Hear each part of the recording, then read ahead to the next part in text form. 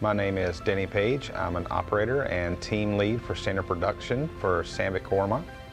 Here on the production floor, we use the TDM Global line.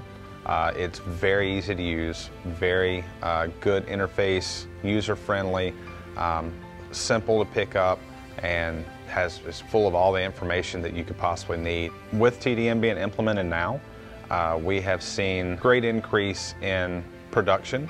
Uh, we can trust more what we receive from the engineering department.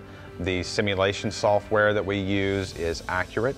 Uh, we don't have to worry about machine crashes.